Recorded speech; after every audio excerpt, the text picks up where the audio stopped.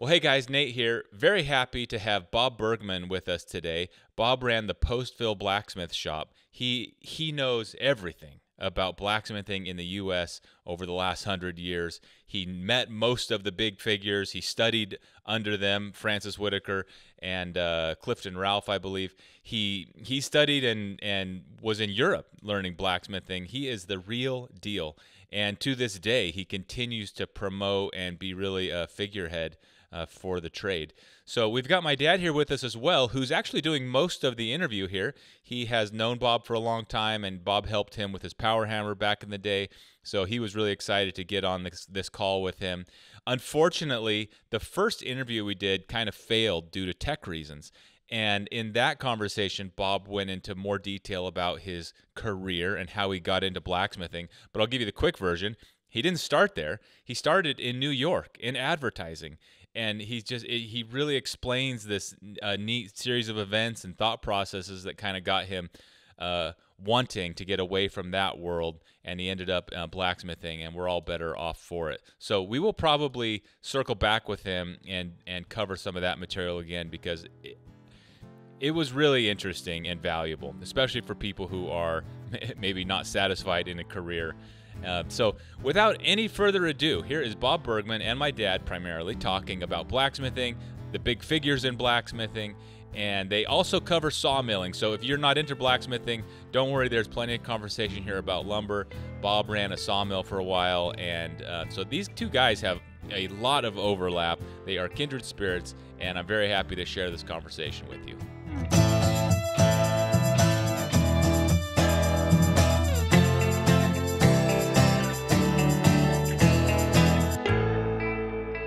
Well, uh, you and my dad have a lot of a lot in common, a lot of overlap, although different parts of the world, and we've got a bunch of um, questions on shared uh, passions and hobbies and businesses.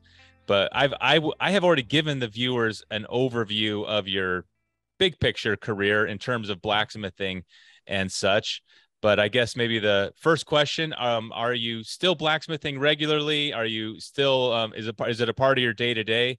And then dad why don't you jump in and kind of talk about this you know this sure. this good. deal? Good good. Uh, no it is not. I mean i still am interested. I still watch youtube videos. I still keep up with my blacksmith friends. But um, i'm doing much more woodworking now.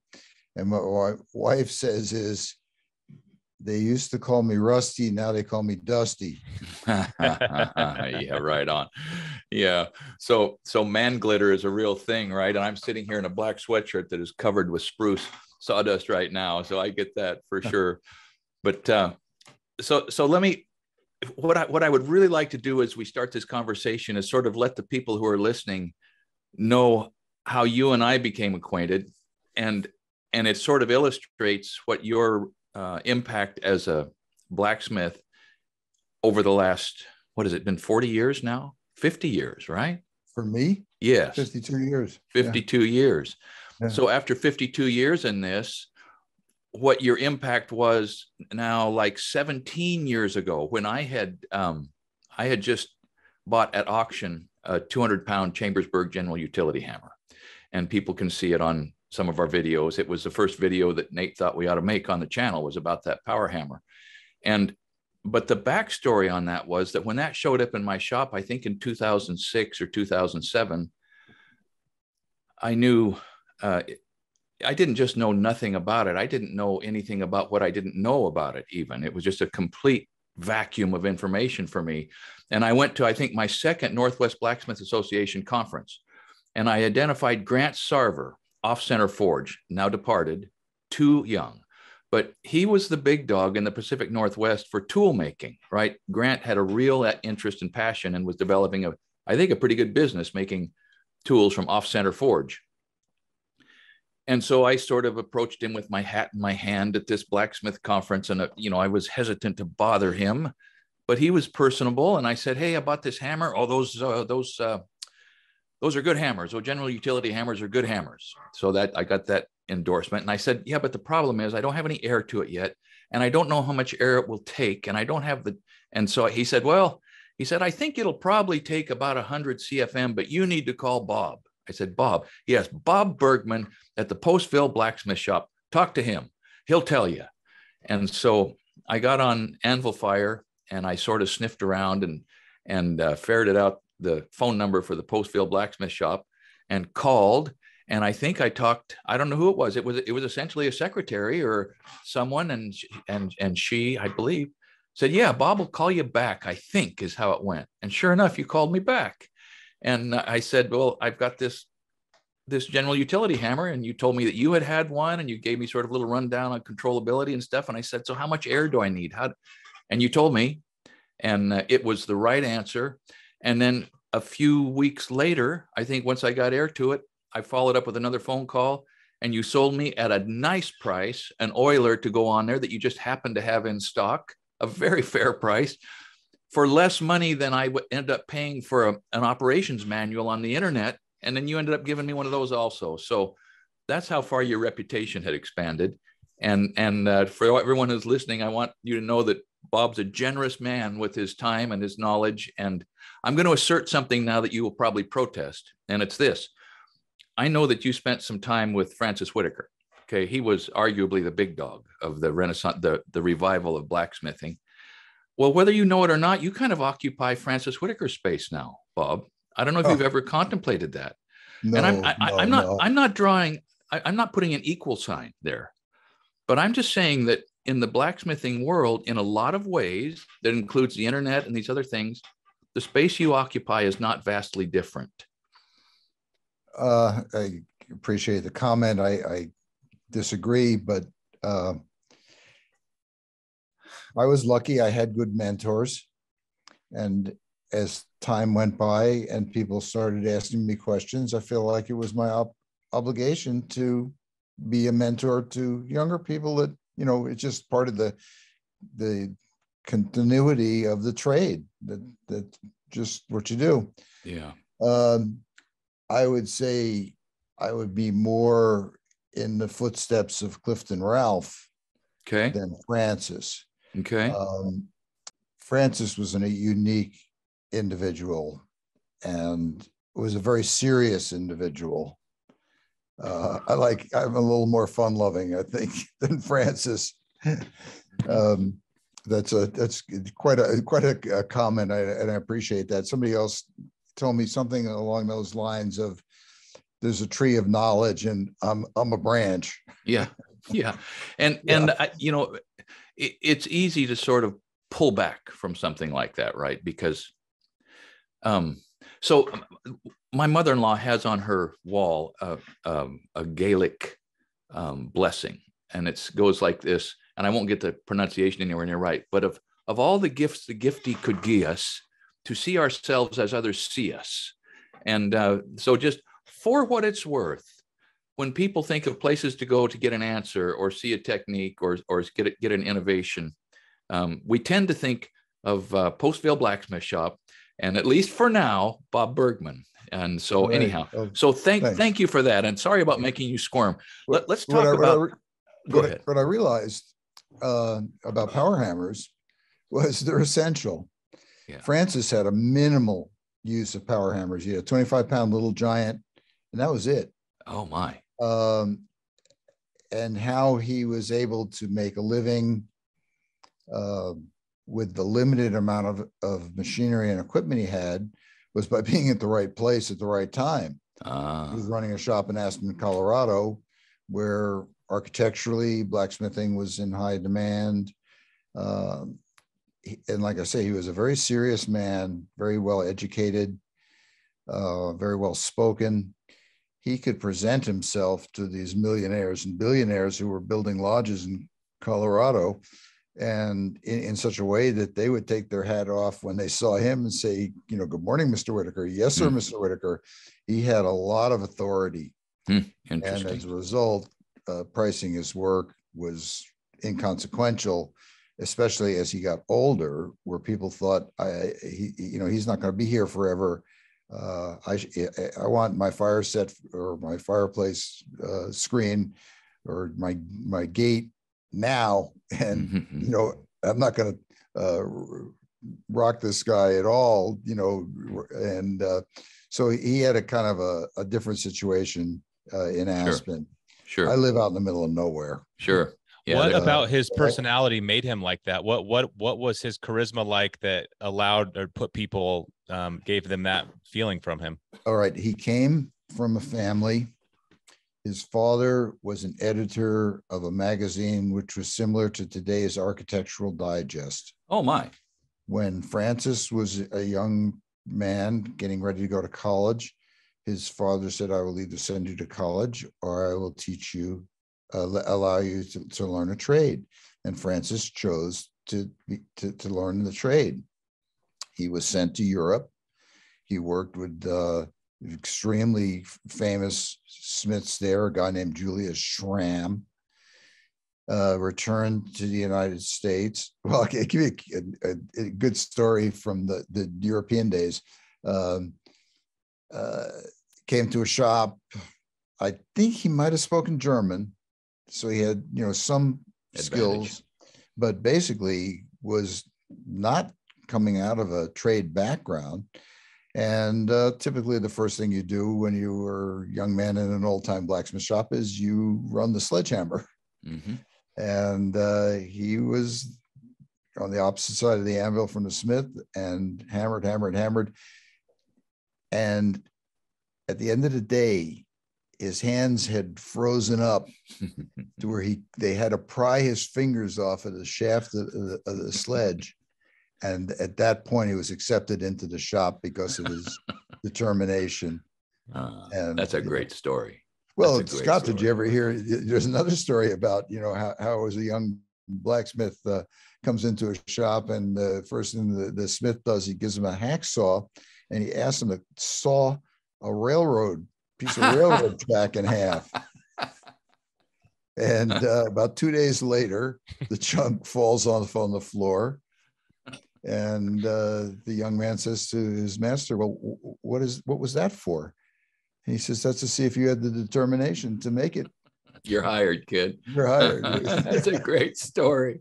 Yeah. Oh, that's a great story. So it so Francis So anyway, he, he was he was educated, he was yeah. educated. All right. and and and and after he he came back to the states, he worked at the Yellin shop.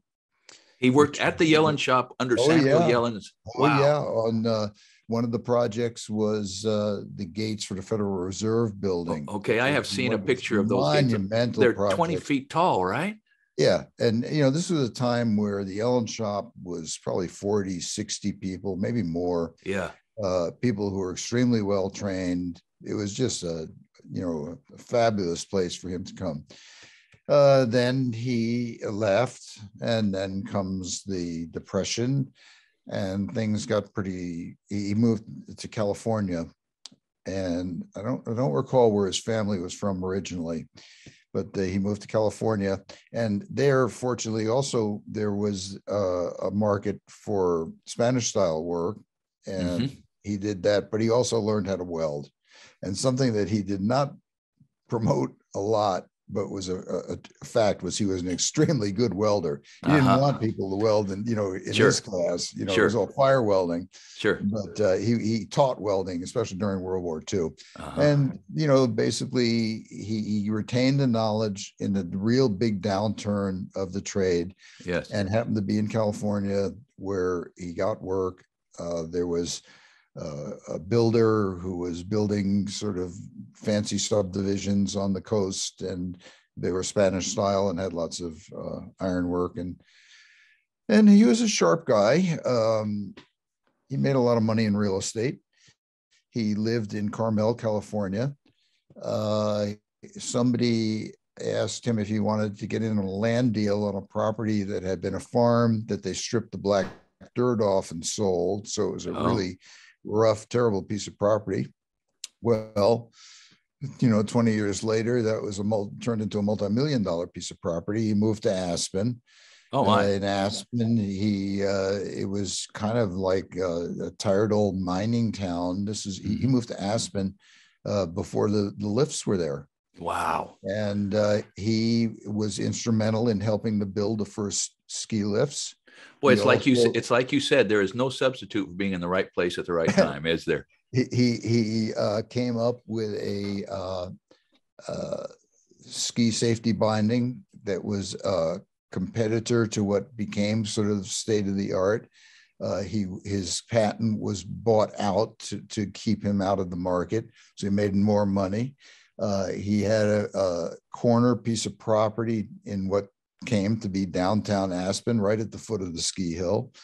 And uh, that got sold and turned into a fancy restaurant, the Forge Restaurant, made more money.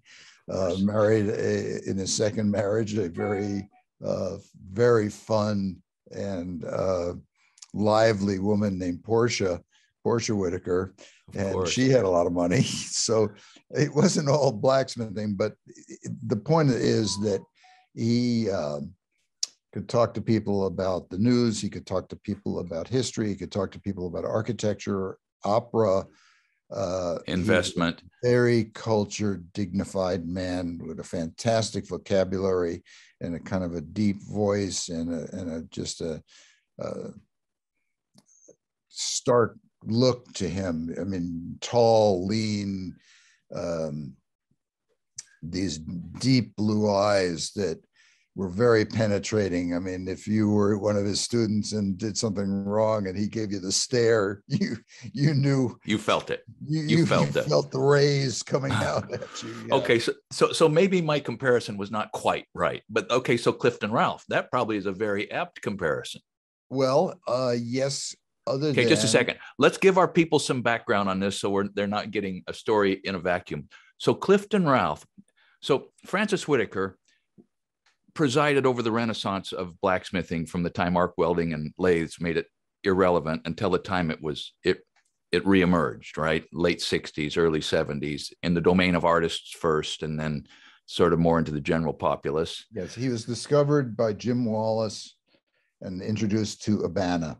Okay all right. And that that in 1976 there was an Abana conference in Carbondale, Illinois, and Francis was so swarmed by people oh. after watching his demonstrations. He he told me that, that you're asking him questions, asking him a question. He said he'd go into the bathroom and take a leak, and people are standing next to him at the urinal asking him questions. You know, he just could, and that's when he recognized that there was a, a real hunger for his knowledge, and he became acquainted with the John C. Campbell Folk School and used that as a home base to teach, and then through that would invite certain students out to his uh, shop in Aspen to work with him. Including you had to go to the folk school first. Including you at one point. Yes. Okay. Yes. All right. So then Clifton Ralph. Clifton Ralph was uh, one of the last men standing from the real industrial blacksmith age. Is that overstating it? Yes. Okay. Fair he, enough. There were, he had a lot of people that were, you know, from the mills and were in the union and, you know, people that I met down in Gary. It was, it's still going now. Scott. I mean, it's okay. not the you know industrial blacksmithing had a much uh, more uh, continuous uh, run than than the ornamental. Sure. But what Clifton, but Clifton similarly got discovered. I believe Jack Brubaker discovered him, um, and um, same kind of story. Got brought to some conference, and people re- recognized that he was he he was a master craftsman and, okay. and a very smart man, uh, mathematically, um, uh, just he, he, he played the hillbilly role to the sure. max, but underneath it, he he was a near genius level intellect. Um, and the, the, difference between he and Francis, um, Clifton learned in the mills where it was pretty rough and tumble. Uh-huh. And there was a lot of displaced people from World War II who are now working in the mills, Europeans. And they're most of them, uh, you know, you didn't tell people your secrets. You yeah. kind of turned around and, you know, when you're doing something tricky, you kind of got in between the, the, guy who was watching and, you know, you put your back to him. Um, and and there was lots of teasing and testing uh, that went on, jokes that you know, joking around that was a little more Hard. than that. I mean, it was Hard. hazing. It, it became be hazing. Yeah. Yes. Yeah. Definitely. Okay. And so so that's the way Clifton came across compared to Francis being such a gentleman. And he also smoked real heavy. I'm guessing three packs of cigarettes a day. He always had a cigarette. And the sort of guy who could smoke a cigarette, so there'd be about a two inch long piece of ash hanging off the end. oh yeah. and and and and in your face he was hard of hearing and i mean it was tough i mean and quite intimidating uh, Interesting. first of all it's hard to catch your breath when you're in, in close and he's hard of hearing so he'd be right up in your face and jabbing you and poking you and and and often just covered with grease he had a 100 pound little giant and his theory was these things live on grease and his machine was really greasy so by the time you got done with a meeting with him you'd have like this black stripe around your midriff from him poking at you and, getting right in your face and you know huh, huh, With, huh. with, cigarette ashes glued to the grease, even better. Yeah, yeah. I can remember the first time I, I met him. Um, drove, got a through a phone call with him, uh, asking if I could come down for a visit. Gary's about Gary, Indiana is about four hours from here, and uh, talking to him on the phone was not easy because of his hearing situation. Anyway, I got an authorization to come down, get down there, and Gary was a lot of uh, small properties.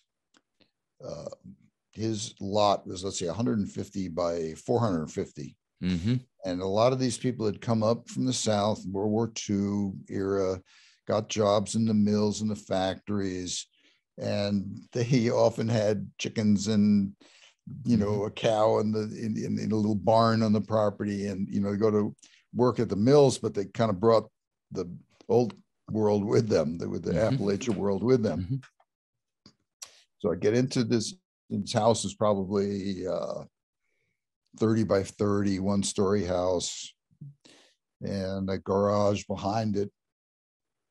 It's in that same size, dark, sun, late afternoon sun coming in, haze of Of smoke. cigarette smoke, dark to where it took a while to adjust to look and see what was there. And it was really minimal. Mhm. He had this power hammer.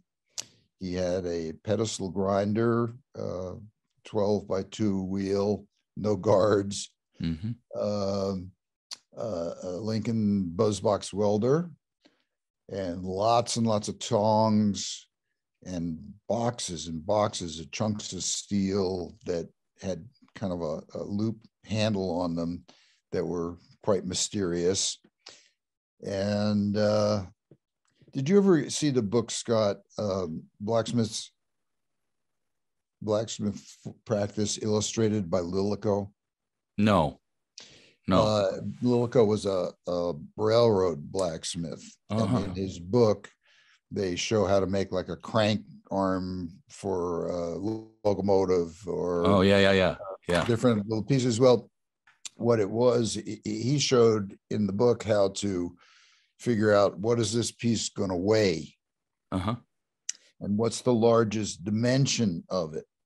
And then he would cut, uh, you know, cut a piece of steel that had the tallest inches nut that you needed and the right, right amount of weight. And there, there were two uh, forging mantras given to me.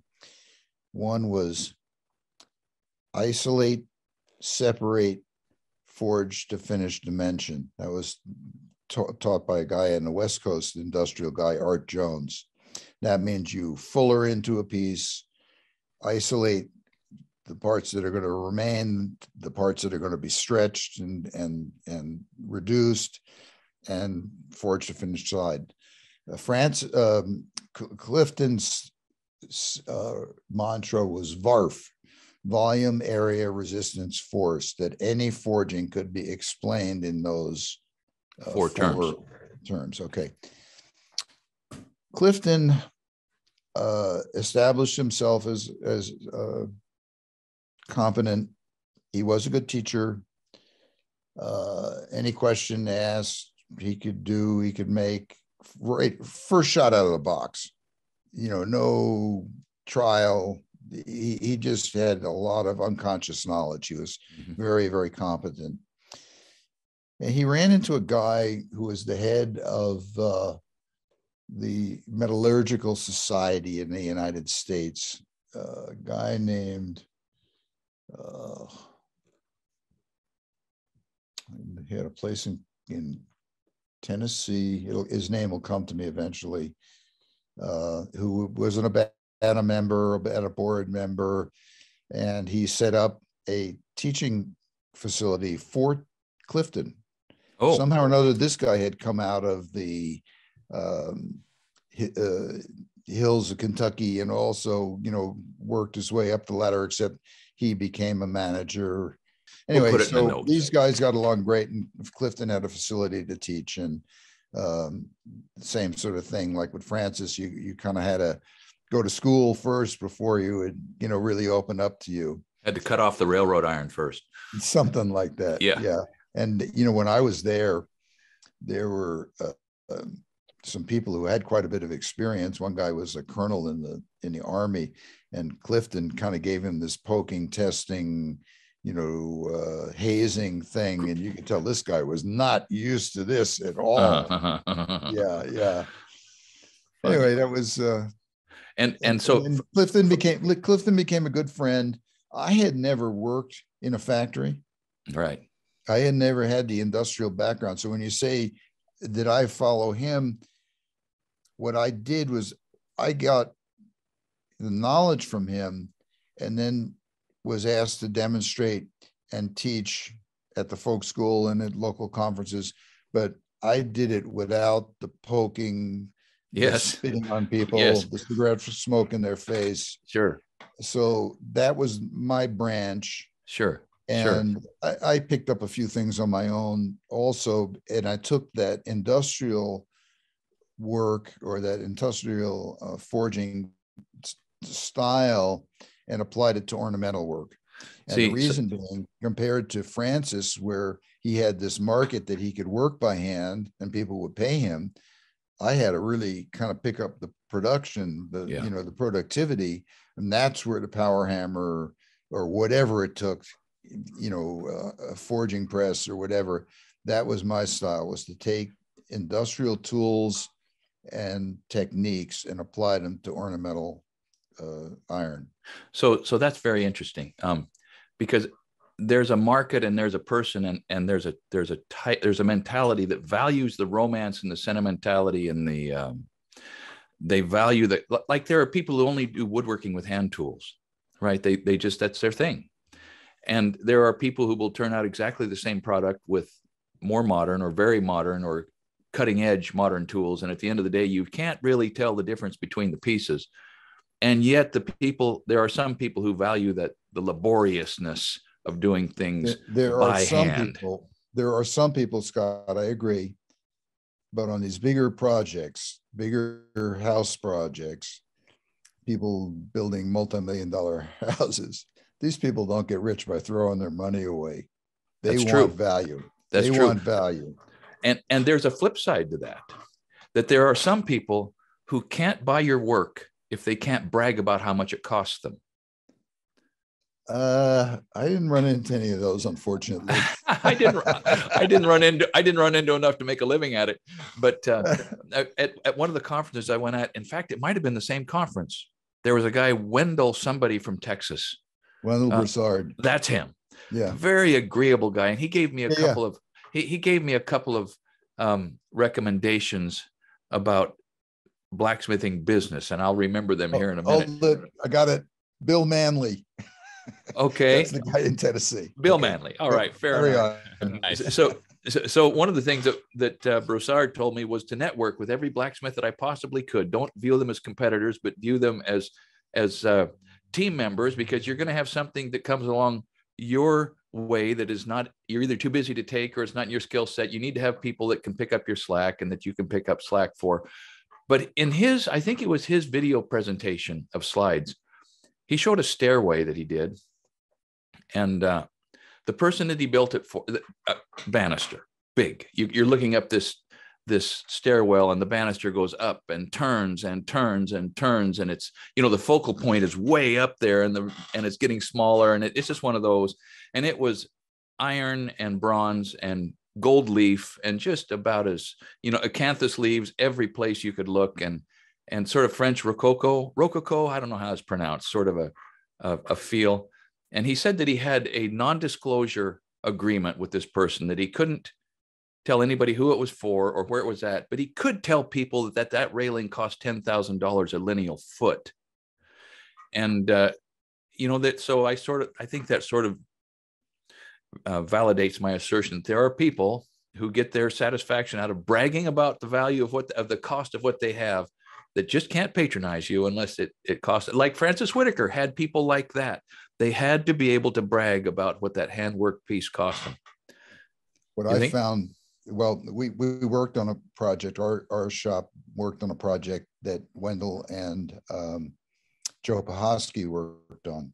Ah, uh, this was a forty-four thousand square foot log structure in Colorado. Oh my! And that place was the the non-disclosure place. And uh, what I found is those homeowners don't want to talk to the blacksmith. That's right. Yeah, yeah. you know? Isn't that the truth? Isn't that the truth? So uh, it was it was a great job. Uh, they they were personable in that uh, when we went out to install, this man's wife um, set us up to go out and eat at the fanciest restaurant in town and paid for it, and um. Hmm. they allowed us to take some pictures for personal use, but not to use as promotional. So yeah, yeah. But that that was that was in our last conversation. I told you about the golden years in yes. the '90s for us and how it just was more and more and more, and it seemed like it was never going to end until it ended. Yeah, yeah. That was one of the projects in the '90s that we worked on in in that southwestern Colorado. That's a big time project, man. That's a yeah. big time project. It was. I, one, one of the things that Wendell told me, I, I think I asked him, what sort of a niche would you pursue if you were starting now? And I think he told me he would pursue um, window um, hardware for windows and um, perhaps cabinets, a very high end, highly finished hardware. He thought he might pursue that. That was one of the other pieces of advice he gave to me. But you were right that um, the contrast now in the blacksmith community between share what you know, disseminate the information, share tools and know how and work compared to what you mentioned about Clifton Ralph's upbringing, where if it was a tricky thing you were doing, you would try to shield it from the people around you because it was knowledge you had that increased your value and you didn't want it. The competitive thing is gone from the craft now, as near as I can tell, because everyone I've met, met and it's part of the it's part of the mission statement of the Northwest Blacksmith Association. For one, is to share the craft. That has to be better, right? Yes, it is much better. Uh, when I learned, uh, first book I got on blacksmithing was called uh, Plain and Fancy Forging by yep. Schwarzkopf. Got that one. I had to go to Milwaukee to get a, that uh, that book.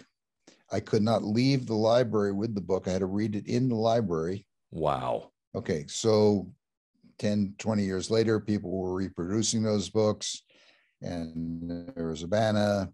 And uh, I think that was a big part of the spirit and elan of the early going was when it was hard to get the knowledge.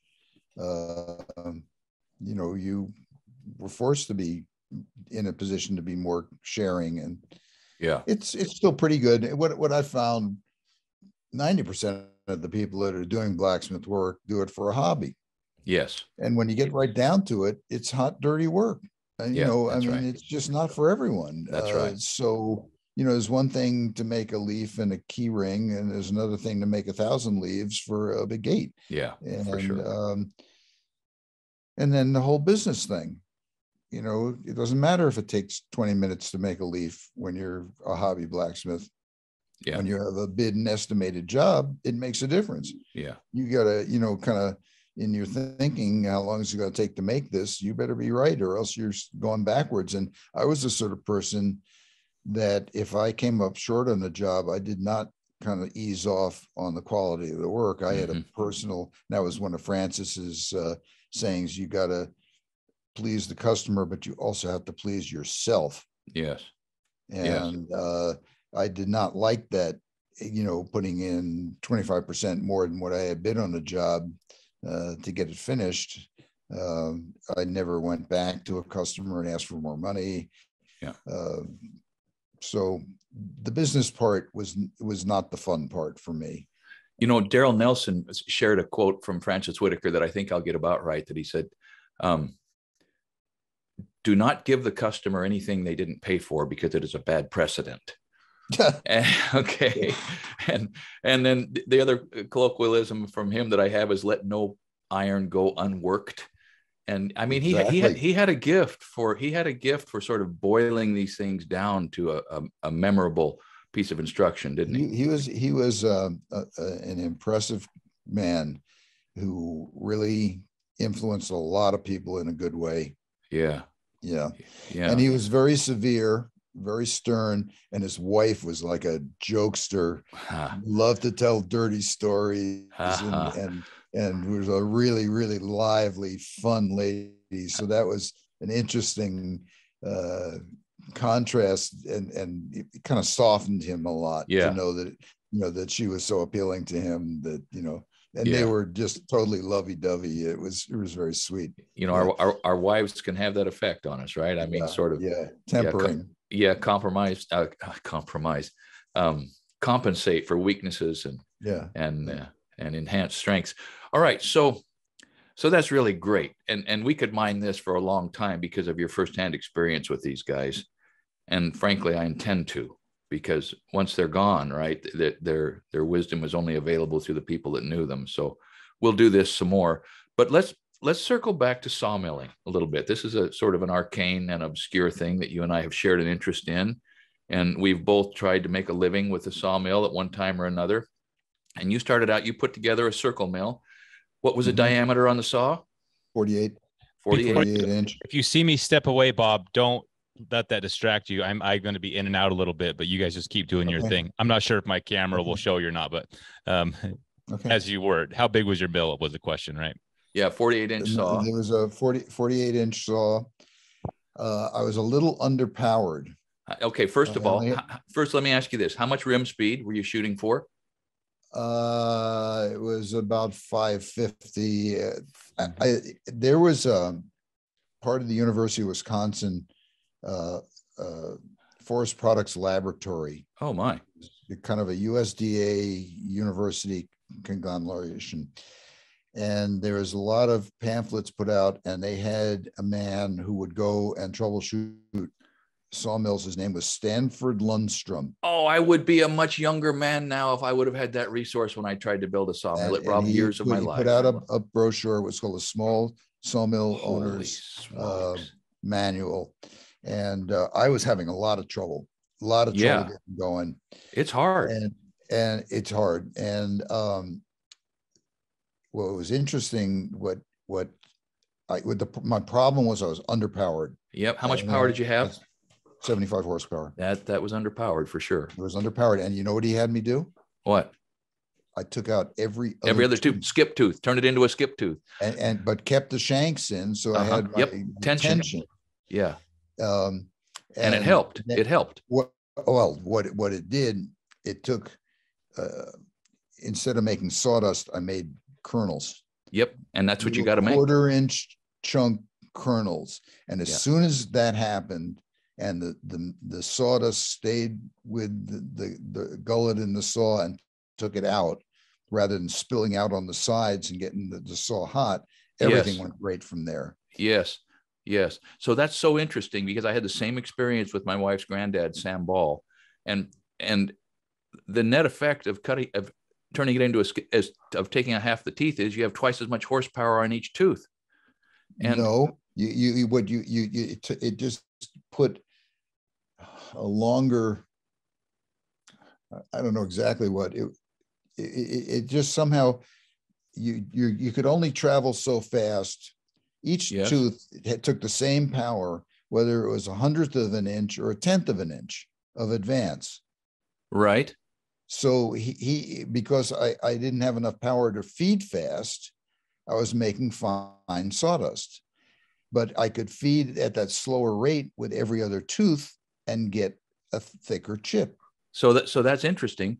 So uh, on a tall face, my understanding is that you would have more than one tooth in the cut at a time, right? I mean, Oh yeah. each oh, yeah. coming tooth is pulling, and so if you only have half as many teeth in this in in the cut, you know the, the horsepower Half is much being power. Right. So so you increase the power and you can increase the feed rate. But that's so interesting that you I didn't increase the feed rate. oh, The you did not increase the feed rate. same, You kept the But- same but- feed rate. but because of less teeth, I got a, a, a thicker chip. Okay. Um, so that And was one of the ways. what that that carried off when I got into machining, oh, machine shop work. is the Same same, thing, idea. That all of a sudden, uh, you're looking, uh, getting a lot of information from the chips. And in Yes. Machine shop work, is it blue? Is it Yes. thick? Is it curled? The things like that. So that that was something that was a, a great lesson learned from this guy Stanford Lunstrum. Interesting.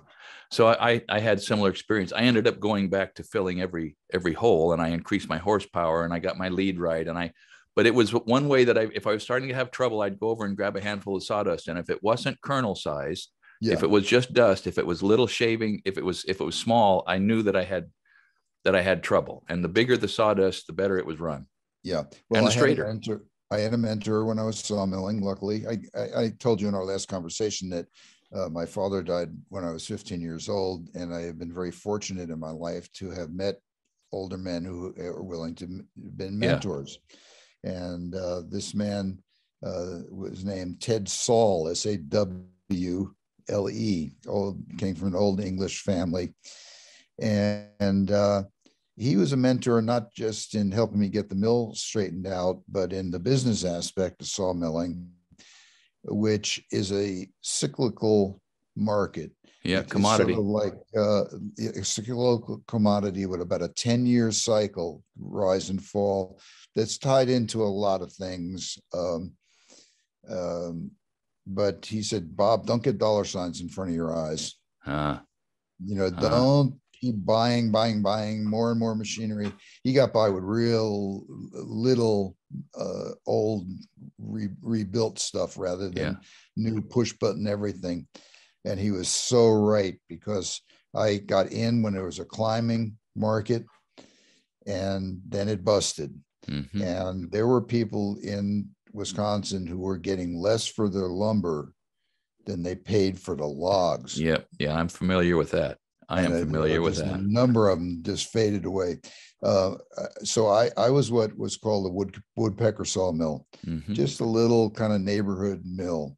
mhm. In in uh, economic geography, there's uh, the fact that the the lower the price of the material, the the heavier it is, and the lower the value, the closer you got to sell it to your your Mhm. your market has to be Consumer. close.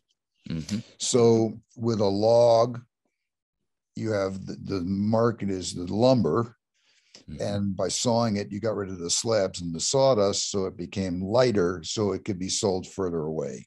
Mhm. Okay, Mhm. and um, in the same for flour milling, rock milling, uh, in in pre uh, automobile days, towns were located about every five miles apart Mhm.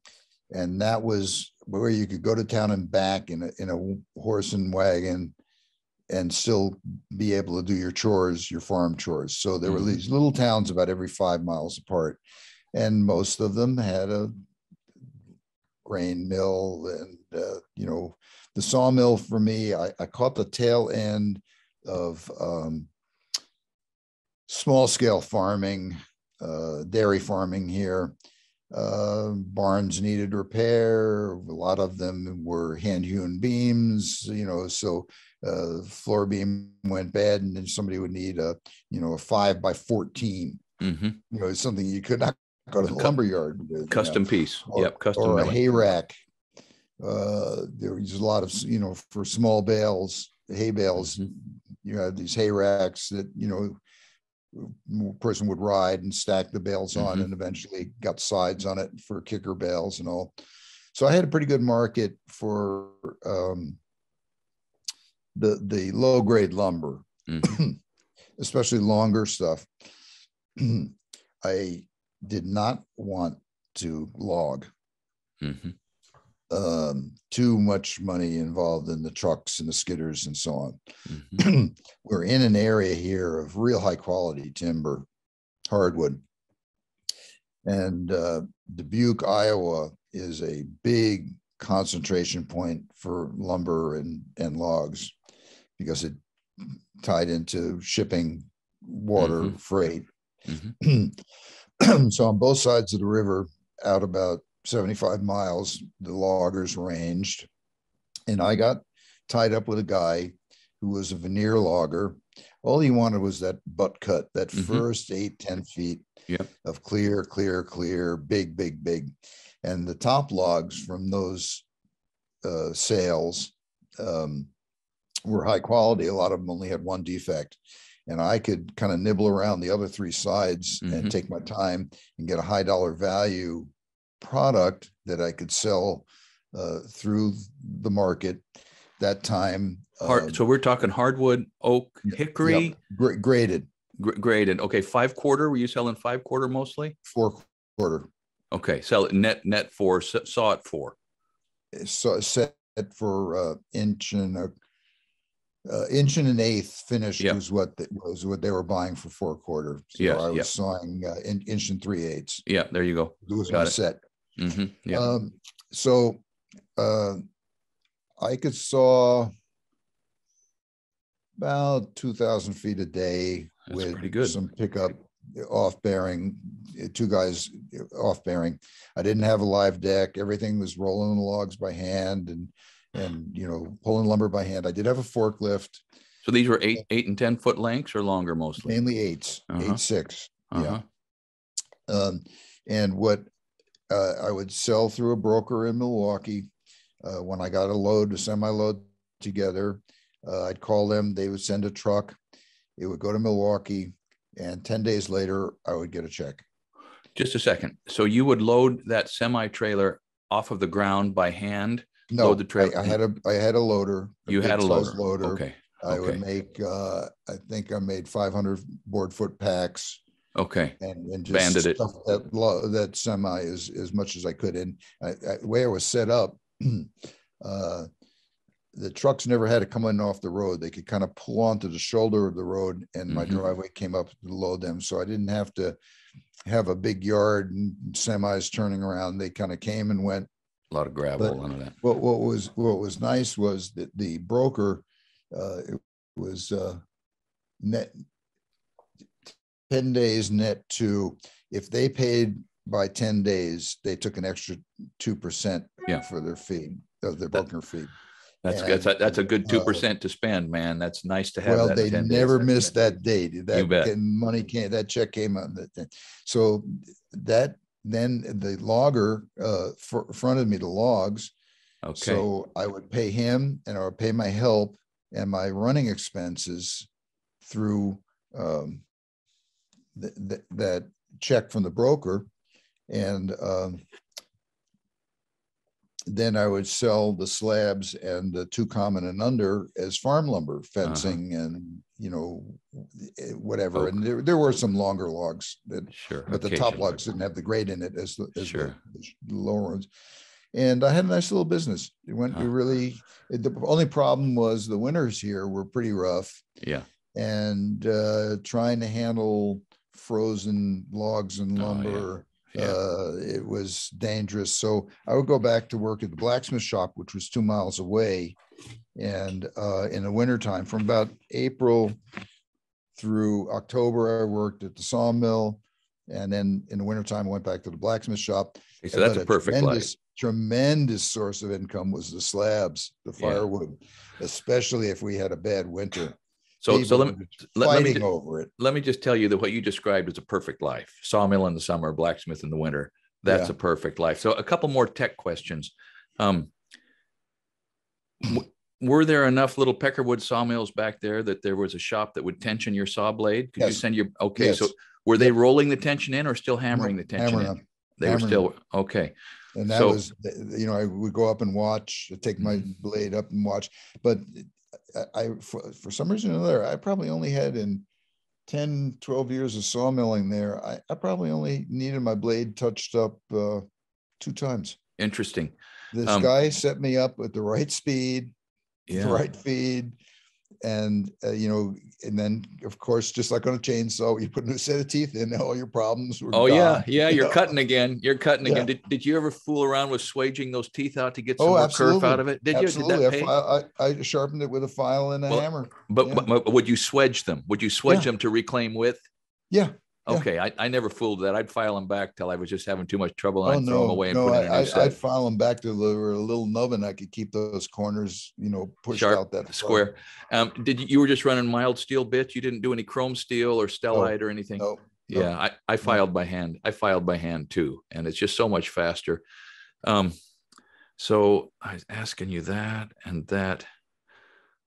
Okay, And the so Then what's the difference to to what I'm running now? The band. yeah, mill. so so you're you're running a Wood-Mizer now? yeah, Okay, it's night and day difference. It's a completely different experience. It, does yours have a live deck? no, Okay, more's the pity, right? Those things are so nice. no, I'm I'm not in business per se on that. I, I'm using a lot of the lumber for myself. I just built a little garage on home sawn lumber. I just use it for the neighbors. I actually quit taking it out portable Yeah, I was doing that for a while, but now I have them bring logs to me and it's, you know, three, four logs and, uh, you know, it's, it's something I enjoy doing, but what, what, um, I'm gotten into making bowls and I can do a lot of blanking of material with the sawmill to make the blanks for my turnings. yeah, So that, that's the primary reason for having it now. Um, what happened in, oh- how I happened to get the thing in 08 the blacksmith business went to a complete standstill. The, the, the recession, depression of 08 to, well, it almost lasted for the blacksmithing business and almost until 18. It was uh, almost a 10 year downturn. Um, uh, I had a really good crew. I had two men who were extremely well trained, loyal, hardworking. In the blacksmith I didn't want to lay them off and I didn't want to cut their hours because I knew they had mortgage payments and car payments and so on. And so I left the business for, for about three years. Uh, I mean, I participated in all, but I didn't draw rent. I didn't draw salary for three years. Mm. How I survived, we had a 40 acre patch of woods and there was a small business near us that was buying uh, basswood. Basswood is uh, kind of a very clear, uh, even grained, um, it's a hardwood, but it's the closest thing to like a pine that we had here. And Right. this business used it to make a hobby craft product. They would sell clock kits and I see. decoupage kits and wood burning and so on. And they they bought in mass quantities. And they would buy it green. They, they would buy it green and rough. They would buy logs. Oh, oh, I got it. You were just Yeah, telling so- them logs. So I, I, hit- I, uh, and timber we had was real thick with basswood, just what they wanted. oh, I got a purchase order and I started logging. Well, now I'm 65 years old when this is happening sure. and, uh, 63, I guess. And, um, had a real tough winter for wood, uh, for snow. Mhm. And, uh, boy, the first couple of weeks was tough, you know, big difference Yeah. between when you're 40 and in the woods to Yeah. 60 and in the woods. And Big it's hilly difference. here and, uh, pulling a chair. I got a, a tractor with a, with a little winch on the back and I'd pull the cable down and hook up and, you know, start, you know, climb back up the hill and pull the, the clutch and In the know, snow. The, the, the, the, the turn when you're coming hit an old stump, get stalled Yeah. and have to climb back down, back up. And I, well, uh, my wife decided she was going to help me and Mhm. she could set chokers and, and, you know, that really made a big difference You bet. and it, it, it was good. Well, when I would, deli- we, we could make one load a day. About, I had a small straight truck. We could do about a thousand feet a day. Mhm. And he was paying, I think, uh, 60 cents. A foot. make- Yeah, so we could Mhm. make about cut, skid, load, deliver about uh, 60 $600 a day. Well, that's worth doing. Enough. To, it was worth doing. Uh, Yeah. It kept us going here. It kept the shop going. And um, then when I was up there, I noticed they had a Wood-Mizer sawing, and they had a lot of natural edge product for. Hey, one second. Hold that spot. So you were were you shipping them short logs, eights, tens, Eight twelves? six. Eight Eight, six. everything was eight six. Okay. Yeah, everything's eight six. And you could st- so you had one log length and you'd stack it up high enough to get a thousand board feet in the bunks. Okay. Yeah, a All right. Sixteen foot truck, and it, yeah. Got it. Um, so um, I, you know, asked him about this, and this guy says, "Well, I'm pulling out." Uh, I I don't know, I remember why, and um, a guy in the blacksmith club had bought a Wood-Mizer. He had three daughters, and he they all wanted to build houses. So hmm my friend bought this mill and they saw it and the houses were done and the mill was sitting kind of idle and it, kind of piqued my interest after you know having been in it before Sawmilling. yeah and um, i borrowed it at first and eventually bought it from him. And i saw it up there pretty steady for about an- another two seasons. This had to be a winter work uh, basswood stains. Ah. and they wanted it and they wanted a bark on product. So the, you had to wait until it really got cold sap went down and then they ran. But as soon as warm weather showed up they were done. So it was another one of these so when the sap part-time when the sap was up, it would stick or stain in the stack. You're saying, or what kind of stain are you speaking to it would actually blue stain Okay, you like did- like a pine. yeah. you you had it you, you couldn't put it in a pack for more than a couple of days I see. I Yeah. see. Okay. So uh, a, a sawing up at this place there, they had uh, sticker fixtures and stickers, and they they provided a guy to help off bear and and yeah. So it worked. And then what happened at the blacksmith shop? one of these men, uh, Terry Southers, uh, had been such a loyal employee and long-term employee that I had made an arrangement with him where he was kind of buying me out. Mhm. He was 10 years younger than I. What the plan was when I turned 65, he would be 50% owner. And then we would keep it going, except he'd be in charge and, you know, start to buy me out. And I- would have become the employee. hmm So that was, you know, supposed, you know, it all came to a halt in 08 when, you know, nothing was happening. It was so quiet. Uh, we would email ourselves to make sure the email was working. Wow. Wow. And we would phone ourselves to make sure the phone was working. Wow. So I so I, we live in a commodity based economy back here too, and I've had those experiences. When I moved out of here in 1981 to Wyoming, unemployment here in Roseburg was 23 percent. So I I have a I have an idea. And I wasn't in business per se then, but I I understand what you're talking about. Those are depressing. Well, what times. happened when I was gone, everyone took a step up the ladder. Mhm. Uh, Terry was not really interested in selling and dealing with customers. He was interested in being the manager in the shop and the worker. Another very fine craftsman, Dieter Wiegang, um, was Romanian, had a pretty strong accent. He didn't like talking on the phone and dealing with customers. He was a little embarrassed, I think, about his accent. Well, three years later go by, when I come back in, uh, Dieter's answering the phone. Terry's going out uh, selling, uh, you know, doing site surveying, laying jobs out, and they they read the paper. They knew what was going on. They knew the sacrifice that I made. And after that, I'll tell you, every time I would eh, try to do something out in the shop, you know, a little welding job or fix a job for a farmer, Dieter would come over and he says, "No, no, no, no, I do, I do, I do. I do. Yeah. Yeah. and um, it really made the transition to get out better. Only problem was now Terry was in his sixties, Yeah. And he says, "Well, why am I going to, you know, be buying you out? And I'm going to be in the same position you are in short order." Well, I thought I had a lot of leads. The business came back, looking good on paper, fully complete outfitted shop, tools and equipment, you know, and tooling, you know, real turnkey operation.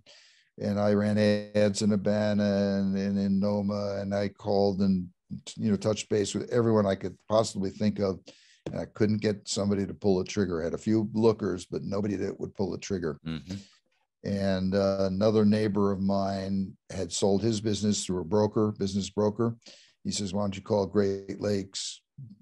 And I called them. Guy came out, looked things over. 45 days later, we closed, and he found a wonderful, wonderful young man to take over. Wow. And the shop is So- thriving. So business- business Dieter is brokerages- there. Wow. And Terry is happily retired, and so am I. And it really, really was a nice ending to a 52 year career. So the, the takeaway from that is that sometimes business brokerages earn their money, right? That worked out just right. It did. It was it was a big bite to swallow because they took 10% of everything, Sure. including the real estate. Sure. But, in But- the re- in the rearview mirror, it was the right move. It, it- Terry and I were were more than ready. Yeah. more than ready. And uh, you know, now somebody called. I had bid a job seven years ago, and uh, this woman kind of had put everything on hold and got into other issues and all. And she calls, she emails me the other day, and you know, I, I hope you remember me and why I, you know, I haven't finished it and all. I said, uh, well, um, why don't you call Ryan? There you go. the new owner and it was so nice to not you know when you're a builder you, you, you, the project gets in your mind to the Yeah. point where you're dreaming about it Yep. at night okay Yep. Yeah. It can- owns i you. don't i don't have to do that anymore i don't, have, don't have to, to make take on other people's prod problems Yeah. and and and you know i got enough to take care of on my own You don't have to solve, you don't have to mm. solve other people's problems. yeah So, so that, that's a big thing. And when you're in a service, when you're a service provider, that's what you are signing up to do is solve other people's problems. So I have a couple, couple questions that have come up one- from one, this. one, one, one thing that tied us into Nate's question was, I- or yours was, I still blacksmithing? People are still calling me. You know, Sure. uh, you can, colleagues are calling Sure. about, you know, what about this? What about that? I, have I enjoy that. People are still coming by to visit old friends, you know, who are in the area for an Mhm. art fair or something. So I haven't given up and I still Sure. enjoy watching YouTube and Sure. um, I, I, I still beat on, you know, stuff that, but it's all personal. And sometimes it's making a part for a lawnmower, my lawnmower, you know. So, so that kind of seg- that, that kind of ties in a little bit to a question that I have. But before I ask that question, and the question I'm going to ask you is, do you advise young people to monetize their passions? Okay, so hold that in abeyance for just a second. Clifton Ralph, could he have forged an anvil if Yes. and, and, not with his hundred pound little giant? I know that, but he had and he had seen and he was he was someone who could have for the right Yes. incentive he could have done. Yes. No, Okay. no, no, problem. And he, one of his demo pieces was a little stake anvil that was incredible. If you, have you ever looked at his tapes? So I I bought the DVD from him. I talked to his wife. This was eight or ten years ago, and my wife mm. my life has been so busy since then. I never finished viewing them, and I Well, I at am I one feel point, I believe he shows making this little kind of stake anvil, maybe about four or five inches long with a inch tang to go into the hardy hole. And then there's a slot down the middle. So it's like sort of like a, a bending fork bick. Hmm hmm Uh, there's a tapered horn on one end and a round horn on the other end, and this slot down the middle, and the whole thing is done on flat dies. Wait a minute. The whole thing is done on flat dies Well, But- with handheld with, tooling, with, with top tools and and a with- with saddle and stuff. tooling. Yeah. No kidding. And that there's where you can see the genius of this man in figuring the tooling out, and then the the breakdown, the the, Wow. uh, Varf. fullering, I- Varf. I- you know, well, yeah, and and also the uh, uh, sep- isolating, distributing, forge to finish size. Wow. Wow. How interesting. It, I, I, if I had a time machine, about my second or third stop would be back into Hay Budden's factory floor to watch them doing that, making Well, those when you pieces. come out for a visit, you're going to see something close, Yay. except Yay. except a hundred times bigger. Yeah, and and of course that's intriguing. But man, it would wouldn't it have been nice to see the anvils spilling off and set on their quenching table and the water coming Yeah. down from the overhead pipe and and you know the balance between quench and residual heat to temper and all of that. That's that's magic. You know. Well, it was a you know, a long time continuity of knowledge and experience. And that's what unfortunately America has lost the Yeah. apprenticeship system where some guy would come in like Yeah. Francis, you know, either, you know, sledgehammer or a broom or something, and slowly with eyes open and mouth shut, Yeah. eyes and ears open and mouth shut, Yeah. learn. Steal with your on, eyes. Yeah. Steal with your eyes. Uh, so, you know, so, so when you when you had that experience in the 20th century of engaging with a thousand year old tradition of journeying from shop to shop, just quickly tell us what it was like to walk into a European shop, mostly in Britain, I think you said. yes, You're Yeah. walking in there. You've had some sort of a phone introduction or something, and you walk in and you I- say, "Put me to work." Yes. I, I uh, wrote a letter to the British Artists Blacksmith Association magazine, sort of like the Anvil's Mhm. Ring, but in, Mhm. in, in England. And I got five reply e- explaining my intentions, and I got five replies back. and I started my trip uh, when they had their conference, and I filled in at that three or four day conference the rest of my itinerary. I wanted to kind of travel Yes. in an orderly fashion Yes. started in the south, worked my way north, then back over and back down again.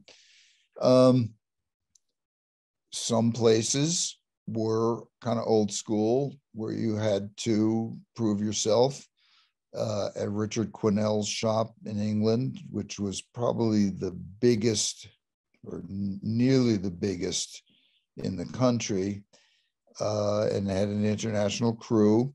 Um, I got set to filing some aluminum castings that were part of an ornamental grill work. Mm-hmm. And that was like a three or four day file, file, file, file. Mm-hmm. and after that, I was then invited to go out and site survey and and do some layout and do this and do that. People opened up after that. In metric. Uh, yes, Mhm. yes, I guess so. Mhm. Um, other shops were one guy would had worked for American Bridge and Iron, and had wound up in England, and it was like a hobby blacksmith, but quite good.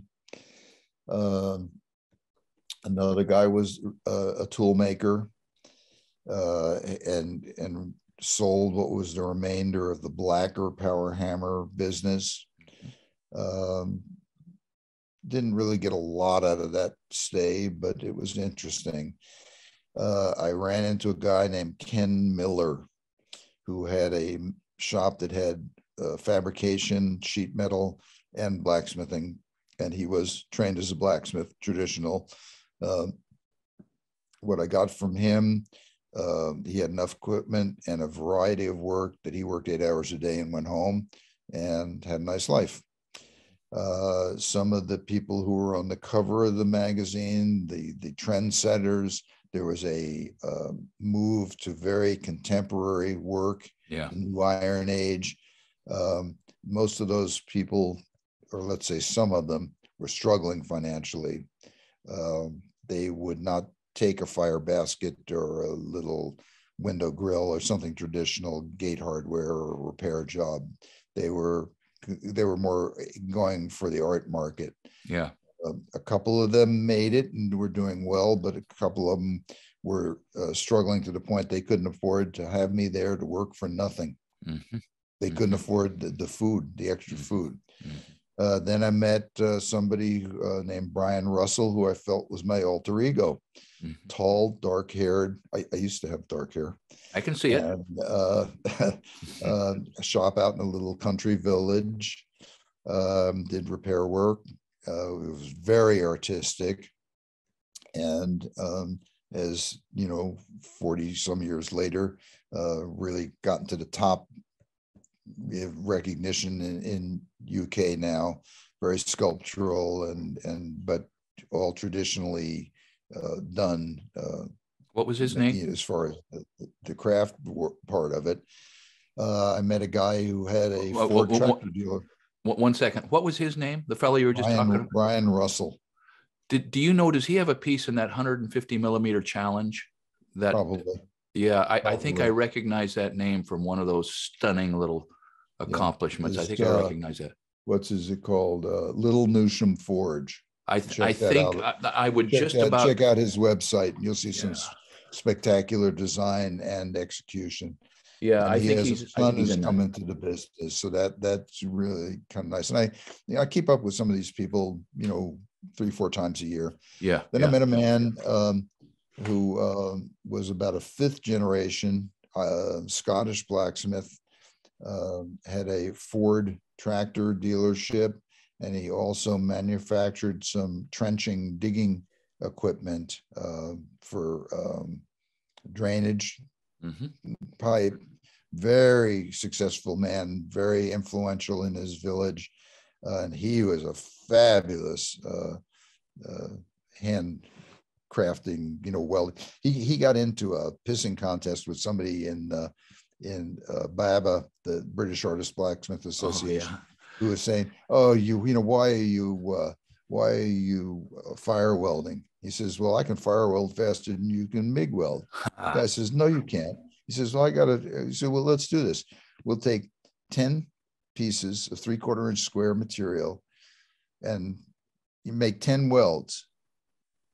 And let's see who gets them done faster. This guy beat the guy with a MIG welder. Beat the guy with the MIG. Wow. Fire weld them. Yeah. Wow. Yeah. No kidding. Yeah. Um, so it was you know, a really, I read something about when you're an apprentice, keep your eyes open and your mouth shut. And, you know, just stay busy. And the easiest way to stay busy is pick up a broom. Yeah, sweep. Or un- unload a truck. Yeah. You know, do that kind of work. And as soon as people saw that I was willing to do that, and then when they would set me on a task that I had some skill, you know, and was contributing and I wasn't asking for anything, that I think I went over there with, uh, you know, around a thousand dollars for my mm-hmm. expenses for this three month trip. I think I came back with seven hundred dollars. There you go. Yeah, you earned your keep. And, and, the only money I spent was like buying stuff to send back home to my kids and whatnot. And uh, that's neat. Uh, what an experience! It was. It was fantastic. What and an experience! Still have these people as friends and colleagues, and yeah. Yeah, that was that was a watershed thing. So to kind of wrap this up, and right on the heels of, of that experience, would you advise young people today to try to monetize their passion? Absolutely. Would you? Absolutely. If you can be one person 24 hours a day, you're going to be happy. Yeah. And uh, it's not an easy path, but it, it also is, you know, you, you become a skilled tradesman. They're, they're not going to send that job to China. That's right. That's right. You know, there might be competition in the market, but you know, if you're a plumber, they're not going to send that job to China. Yeah, they're never going to 3D print drain systems. Yeah, yeah, they never will. Let me answer a little further on that question. Um, I had a lot of people come, uh, high school, grade school kids come to for a tour of the shop, and what I saw was in a group of 20 people, there was a two or three that you could see were ADD or whatever it's called, you know, kind of restless and all. Mm-hmm. And I, what I could see is they did not want to learn to sit behind a computer all day. Mm-hmm. They they wanted to be more physical, up on their feet, doing stuff. Those are the people I would definitely urge towards um, learning a trade. The question is, are they going to love it? I, I don't know. You know, that's that's what I'm driving at. Yeah, there's something about the blacksmith thing and the fire that is intriguing. It seems like everyone. I mean, yeah. a few people are afraid, but most people seem to be drawn to it. So there's something unique about it. Um, and the reality is, as a as a tradesman, you know, you're going to make between what fifty, hundred thousand dollars a year, yeah, something like that. You know, yeah. You're not going to have a second house Mm-mm. and two snowmobiles Mm-mm. and a ski boat and an ATV and three cars. You know, so if you kind of have realistic expectations, it can be great. Mm-hmm. Uh, if you want to be like everyone else, you might feel a little uh, left behind. Mm-hmm. So, um, but for some people, absolutely. Uh, you know, I have a dozen colleagues, you know, people of my generation that have had really nice, interesting lives being a self-employed craftsman and uh, have made enough money. I'm not wealthy, but I'm comfortable, mm-hmm. and um, gotten recognition. Um, had a chance to travel. Uh, what I like is to drive past the house and there's a railing up that we did 25, 35 years ago, and it's still looking good. You know, I, I can mark my life by um, real concrete, uh, yep. you know, things that I can see and touch and all. I really like that. And then uh, sawmilling and stuff, it's just something really fascinating about it the woodworking, the material itself. Mm-hmm. Um, so I, I, I, feel very grateful, very lucky the, the, life I've led, and still you know got a ways to go yet, I guess. So yep, you know, yep. That, that's nice. Well, I know you have a, a YouTube channel, and there's a little little video with Clifton Duncan on there if I'm got his name correct. And is there anywhere besides Clifton Ralph? Clifton Ralph. Ralph. Clifton Duncan is a great Twitter follow.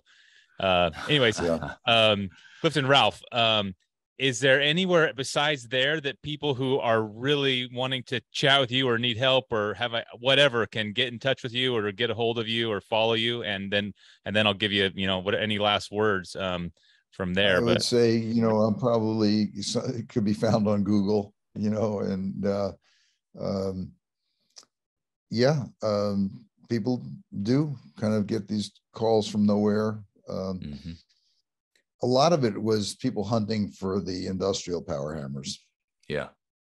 And that yeah. was something we, we didn't talk about. You know, when I said that Francis had this sort of minimal thing, if you're going to make a living blacksmithing, you have to have a power hammer. You got to have a power it's hammer.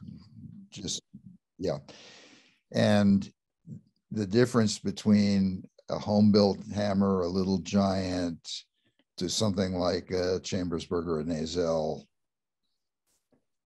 Yeah. Yeah. I can't tell you how many yeah. people I had come through and tried out the the 300 pound uh, we have. And it's like this look on their face. It's very user friendly. It's yeah. very gentle and controllable. But then when you need the power, it's there. Yeah. Yeah. And you just to see people ease up and all of a sudden they're not even thinking about the hammer anymore they're shaping metal with it and the uh, ability to use handheld tooling you know on flat dies gives you so much versatility and it, it takes it back to like having a striker yes. and and uh, at the you know on the other side of the anvil from you. Yeah. Uh, a helper so when, when there I, were limited amounts of these, and uh, people really been on the hunt for them. And the fact that we rebuilt them and made parts and so on, that that was a the bulk of the questions that mm. you know we got sort of towards the end there. Quite sure. Uh, I don't know who else is doing it. Uh, I think Ryan is still accepting that kind of work and Dieter is still there, who did most of the work and, and you knows where all the tooling is and so on. Hmm. Um, so I guess that's there, and you know they're feel feel they feel and tell anyone feel free to call Postville Blacksmith Shop and talk to Ryan.